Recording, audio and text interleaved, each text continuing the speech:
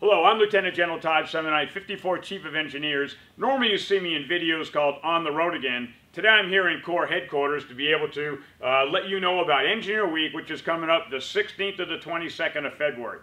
Every year we have a theme. This year the theme is actually Pioneers of Progress. And the national team has asked us to really be able to emphasize three big things. One is to be able to make sure that we're um, celebrating the engineers that we have out there in the force.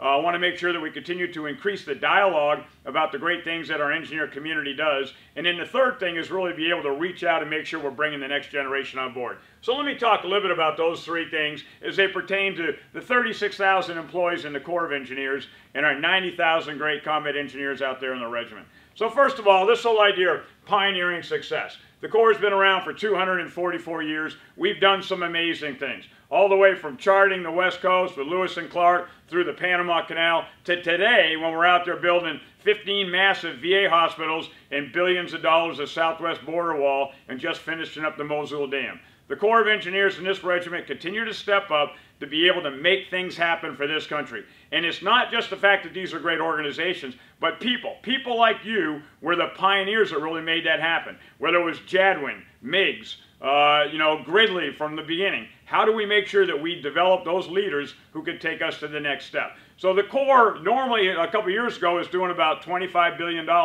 This year we're doing 66 billion. This nation needs the uh, United States Army Corps of Engineers to take care of some of these massive infrastructure challenges we have, and we've got to be able to be smart enough to be able to, uh, to recommend some innovative solutions. Uh, the, um, the other big thing I want to talk about is some of the great uh, um, the development we've got to do to be able to really bring the engineers back on, on board. And we do have some massively uh, talented engineers throughout there in the workforce.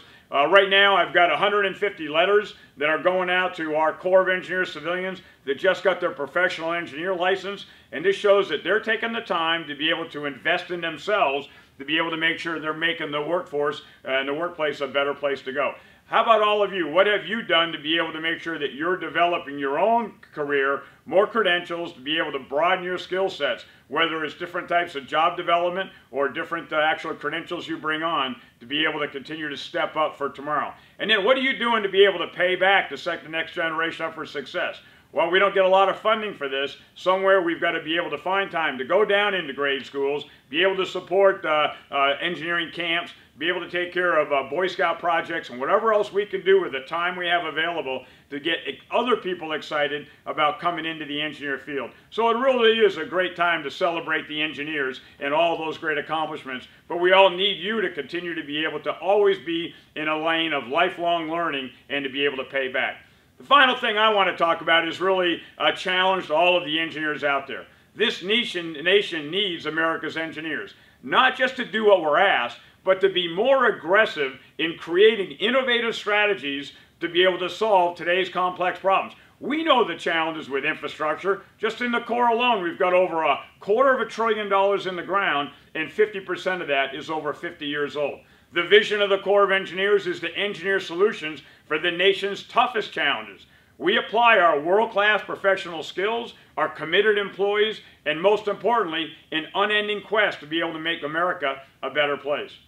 I extend that challenge to all of you to be able to lean forward, to be able to anticipate the nation's needs, and to be able to find innovative options with affordable resources to implement solutions to this country's concerns. It's one thing to always say that we need more money to invest in there, but on the other hand, we've got to find innovative, feasible solutions that this nation can afford to be able to put those solutions actually in the ground.